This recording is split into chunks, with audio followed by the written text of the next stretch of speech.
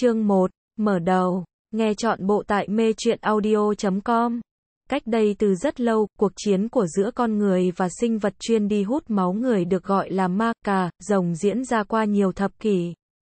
Thế nhưng con người vốn không thể nào chống lại thứ sinh vật thèm khát máu người này, họ dần trở thành những chiếc bình máu phục vụ nhu cầu sống tất yếu của ma, cà, rồng. Cho đến một ngày, Lion, chạy đi thiếng một người đàn ông hét lên khi đang đối đầu với một ma ca rồng cấp E thứ sinh vật bị nguyền rủa, bị biến thành hình dạng gớm ghiếc, luôn thèm khát máu người.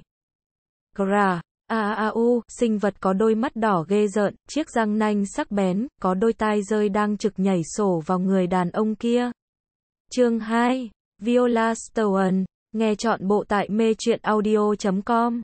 Máu, máu, mọi thứ toàn là máu mùi tanh nồng đậm sộc thẳng vào khứu giác của cô cha.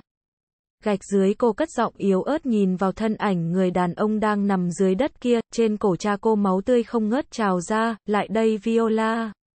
Giọng nói có lực hấp dẫn trí mạng vang lên, một cánh tay giờ về phía cô mời gọi.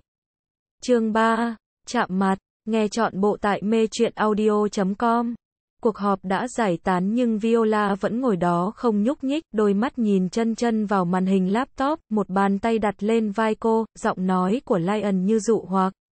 Nhớ cho kỹ, đấy chính là người đã giết cha em. Không bao giờ được quên. Đôi vai nhỏ nhắn run lên, phải. Sẽ không bao giờ quên. Bàn tay của Lion luồn vào mái tóc suôn mềm của cô, thoang thoảng mùi hoa lavender đưa lên mũi hít thật sâu, tâm trạng thật thoải mái. Người con gái này rất quan trọng với anh, trên hết anh cần cô gái này để tiêu diệt tên Louis kia, anh tin rằng sẽ không có người con trai nào có thể cưỡng lại sắc đẹp này. Vẻ đẹp của cô làm họ say, bao gồm cả anh. Bàn tay Lion nâng cầm cô lên bằng một động tác hết sức yêu chiều anh nhìn cô chiều mến, đôi mắt thạch anh trong veo, chiếc mũi thanh tú, đôi môi. Nhìn vào đôi môi đỏ hồng kia đôi mắt anh hiện lên vẻ ham muốn, bàn tay căng cầm cô cao hơn, môi anh dần hạ xuống. Tâm trí cô đã quay về với thực tại, vào cái lúc môi anh hạ xuống chỉ còn không. Không không một cm cô nghiêng đầu tránh đi nụ hôn của anh, nụ hôn rơi nhẹ trên má. Trái tim cô thở phào nhẹ nhõm. Lion mất hứng đứng cách xa cô, trong giọng nói vẻ lạnh lùng thế chỗ ánh mắt chiều mến ban nãy. Mau đi tập luyện đi, em cần phải mạnh mẽ hơn nữa. Sau đó Lion rời khỏi phòng, bàn tay quệt ngang qua miệng, có chút tiếc nuối khi không hôn được vào đôi môi đỏ hồng kia. Viola đã thay đổi, không còn là cô gái yếu mềm khóc lóc thảm thiết khi ôm xác cha vào ba năm trước nữa, cô đang dần phản kháng. Anh nhận ra điều đó khi cô từ chối nụ hôn của anh. Tốt, nhưng dù sao anh cũng không cho phép. Lion rời đi cô mới thả lòng bản thân, đôi bàn tay vì nắm chặt mà toàn chương 4, bị bắt cóc một. Nghe chọn bộ tại mê truyện audio.com. Thật không ngờ lại có thể tái ngộ sớm đến như vậy, Viola không kìm lòng được mà bùng phát, đôi mắt cô giận dữ nhìn người con trai trên mái nhà kia. Tuy hắn ta quay lưng về mặt trăng nhưng cô có thể cảm nhận được tầm mắt hắn đang dán chặt vào từng biểu cảm, từng nhất cử nhất động của cô cạch ngón tay chuẩn bị bóp cò súng thì cái thân ảnh trên mái nhà như một tia chớp đứng trước mặt cô, động tác gọn lẹ tước đoạt khẩu súng trong tay cô ném ra một góc. Thoạt đầu sững sờ nhưng chỉ vài giây sau cô tung một cú đấm về phía hắn ta, bàn chân cũng không rảnh rỗi mà đá về phía hắn. Cô xem thường hắn quá rồi, bàn tay hắn chụp lấy nắm đấm của cô, dùng sức đè cô vào tường, một chân hắn đè lấy hai chân cô khí thế bức người, buông tôi ra gạch dưới cô gằn giọng, thân thể dẫy dụa muốn thoát ra ngoài, nếu tôi nói không. Trong đêm tối cô không thể nhìn rõ mặt hắn ta, mái tóc bạch kim sáng lấp lánh trong đêm tối vào giây phút này trông thật quỷ dị, nhiệt độ từ thân thể hắn tỏa ra lạnh như đá, khiến cô nổi da gà. Thế nhưng giọng nói lại có gì đó mê hoặc như muốn cuốn tâm hồn cô vào sâu trong đó, bu ô. Ong, Tôi ra gạch dưới cô lặp lại câu nói, giọng nói lắp bắp đầy sợ hãi. Sợ hãi, chưa bao giờ cô lại cảm thấy lo lắng, khẩn trương như thế này. Lion nói đúng, cô cần phải mạnh mẽ hơn nữa. Ba năm qua rốt cục đứng trước hắn mọi sự cố gắng của cô tan theo khói bụi. Cô hận, Tuy là đêm nhưng đôi mắt xanh thẳm của Louis vẫn nhìn rõ mọi vật như ban ngày, mọi biểu cảm từ cô Louis đều thu hồi hết vào đáy mắt, ghé sát khuôn mặt gần cổ cô, trong đôi mắt sắc đỏ quỷ dị dần hiện lên. Hít một hơi thật sâu Louis tận hưởng hương thơm dòng máu đang chảy dưới cổ cô. Thật thơm, bàn tay vuốt nhẹ cần cổ trắng mềm của cô.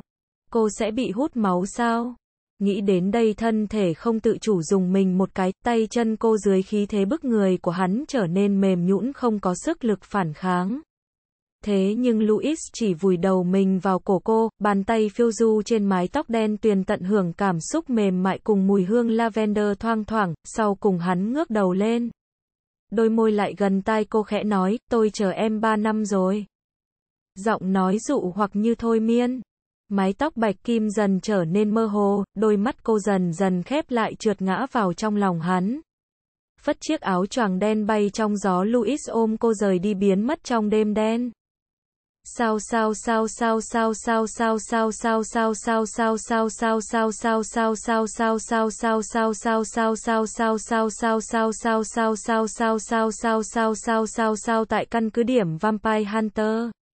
Dầm, Lion tức giận lật đổ chiếc bàn khiến cho mọi người trong phòng nhất thời đổ mồ hôi hột, trong lòng đang đánh trống lô tô.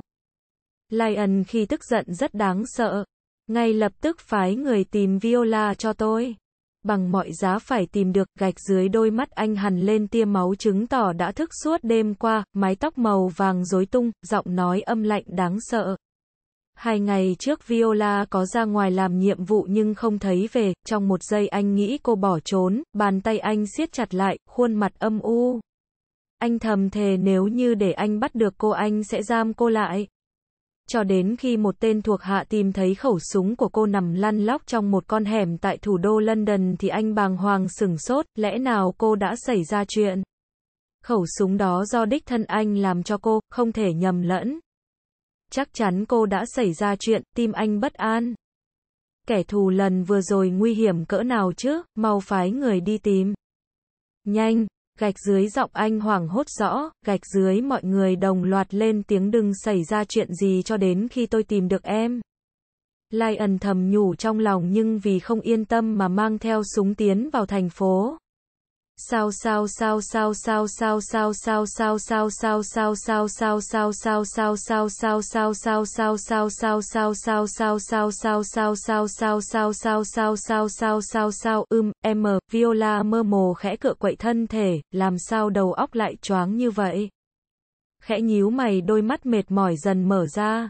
Một màu đen tối thui bao trùm, ánh sáng le lói yếu ớt từ phía cửa sổ đang bị che bởi một bức rèm đen khiến cô tỉnh táo hơn một chút. Đây là đâu?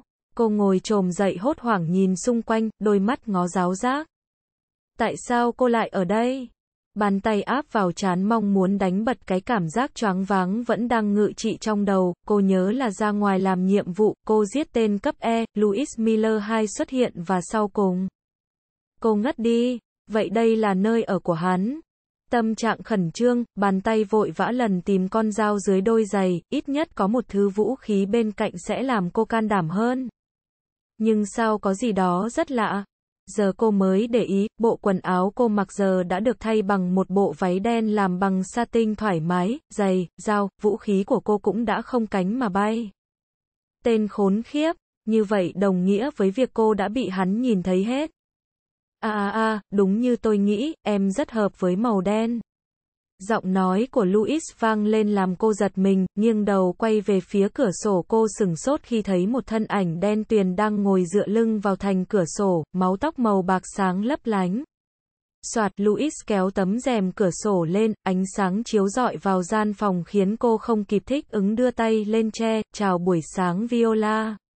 Hắn di chuyển như điện đến bên giường, bàn tay cầm lấy tay đang che ánh sáng của cô đưa lên miệng hôn, giọng nói nhẹ nhàng kèm theo một nụ cười như có như không.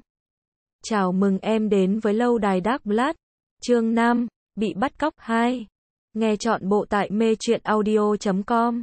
Bàn tay Louis lạnh như băng nhưng vào giây phút môi hắn hạ xuống trên mu bàn tay của cô lại khiến nơi đó bỏng rát, ánh mắt hắn nhìn cô dụ hoặc đôi môi mỏng khẽ nhếch lên tối nay cùng tôi tham gia một dạ tiệc dạ tiệc. Cô nhìn hắn đầy ngạc nhiên nhưng vài giây sau cô mới ý thức được mọi chuyện. Giọt cô hất bàn tay hắn ra bằng một lực rất mạnh đồng thời nhanh nhẹ nhảy ra khỏi giường cách hắn 3 mét. Đùa gì chứ, bảo cô đi dạ tiệc cùng với hắn. Nực cười, cô nên lấy thân phận gì để đi với hắn? Là người có cha bị chết trong tay hắn sao? Ô, hay cô phải nói cho hắn biết là giữa một thợ săn và một tên ma ca rồng việc đi cùng nhau là một điều bình thường. Nhìn Louis bằng ánh mắt lạnh lùng, cô cười khẩy chào phúng, anh đưa tôi đến đây có mục đích gì? Vẫn nhìn cô chằm chằm, đôi mắt xanh sâu thẳm dán chặt vào thân thể của cô, một tay tựa lên thành giường những ngón tay chạm nhẹ vào đôi môi đang nở một nụ cười như có như không. Louis đang đánh giá thân hình cô. Người con gái đứng trước mặt quá xinh đẹp, đường nét trên khuôn mặt hài hòa, bộ váy đen tới đầu gối làm tôn lên nước da trắng mịn. 8 năm, 59, 87, cũng không tệ. Nhận thấy ánh mắt xuồng xã của hắn đang nhìn vào thân thể mình Viola chừng mắt giận dữ, hắn ta không có chút lịch sự tối thiểu nào sao? Trong lòng Viola tràn đầy khó chịu cùng cảm giác ngượng ngùng, ban tay bất giác túm lấy một góc áo. Đứng trước hắn cô cảm thấy không có chút tôn nghiêm nào. Louis nhìn cô, đáy mắt hắn hiện rõ đôi mắt màu tím trong veo của cô đang phản chiếu. Đôi mắt này khiến hắn không bao giờ quên từ ba năm trước, hắn ngồi dậy tiến gần tới chỗ cô, anh. Anh muốn làm gì? Bản năng thợ săn trong con người cô trỗi dậy và cô biết sắp có điều gì đó xảy ra, bàn chân bước lùi về phía sau cho đến khi chạm vào góc tường. Thế là hết đường chạy. Con sói thì đang đến gần mà con cừu non lại quá ư là ngon miệng. Hiện tại tâm trạng cô khẩn trương hơn bao giờ hết, tim đập nhanh, đôi mắt nhìn hắn để phòng lo sợ. Nhưng có vẻ cô quá khẩn trương, hắn không làm gì mà chỉ chống hai tay lên tường thành công giam cô trong chính giữa bức tường và lồng ngực hắn, ánh mắt dán chặt vào đôi mắt thạch anh không rời. Cô bất giác nuốt nước bọt. Rốt cuộc hắn muốn làm gì, lễ phục để ở trên bàn, đúng 20 giờ tối nay em sẽ đi dạ tiệc cùng tôi, gạch dưới hắn ở bên tai cô nhẹ nhàng nhưng trong câu nói ý ra lệnh lại bao trùm, tôi. Sẽ không mặc, điều chỉnh tâm lý cô ổn định nhịp tim ngước đôi mắt to tròn nhìn hắn ngang bướng. Đúng vậy, không có lý do gì cô phải mặc nó cả. Tầm mắt liếc đến chiếc hộp đen dài để trên bàn cách đó vài mét khiến đôi mắt cô hiện lên vẻ chán ghét, cũng được, tôi cũng sẽ không ngại mặc nó cho em. Sẽ không có chuyện tôi gọi người hầu thay đồ giúp em như đêm qua nữa. Louis ghé sát tai cô mờ ám, giọng nói mang vẻ ám muội pha chút vô sỉ. Cái gì? Cô nhìn hắn ngạc nhiên rồi cúi xuống nhìn chiếc váy đen đang mặc trên người mình. Nếu đúng như lời hắn nói thì đồng nghĩa với việc cô chưa bị hắn nhìn thấy. A a a, a a quá tốt rồi, thân thể cô thả lỏng, khóe miệng hiện lên một nụ cười mỉm. Ý nghĩ đã bị hắn nhìn thấy hết khiến cô nổi lên một trận da gà nhưng mà thật sự là không có gì. May quá, Louis nhìn cô thoáng vẻ hài lòng di chuyển đến bên cửa sổ, quyết định như thế, 20 giờ p tôi tới đón em, gạch dưới rớt lời nhảy từ trên cửa sổ xuống trước con mắt chữ A miệng chữ O của cô. Cửa chính không đi lại nhảy từ cửa sổ xuống, hắn ta có vấn đề gì sao? Bước lại phía cửa sổ cô cúi đầu nhìn xuống và đôi mắt cô giãn ra hết cỡ. Cô, thế nhưng lại bị hắn ta nhốt ở một tòa tháp cao chọc trời xung quanh bao bọc bởi một cái hồ sâu thăm thẳm. Hốt hoảng vì độ cao khiến cô chóng mặt Viola ngồi thụp xuống sàn vuốt trái tim đang đập run rẩy trong lồng ngực. Và giờ cô phát hiện ra, trong phòng không có cửa chính mà chỉ có duy nhất chiếc cửa sổ đang mở. Đồng nghĩa với việc muốn ra ngoài phải đi qua chiếc cửa sổ kia. Thế nhưng khi nãy hắn, bất giác quay đầu ngước nhìn về phía cửa sổ cô nuốt nước bọt khan không dám nghĩ đến nếu một người rơi từ độ cao hơn 1.000 mét xuống sẽ ra sao. Cô lắc đầu dùng mình. Thế nhưng cô đã quên một việc, hắn đâu có phải là người thường. Hắn là vua của loài ma ca rồng khiến cho những người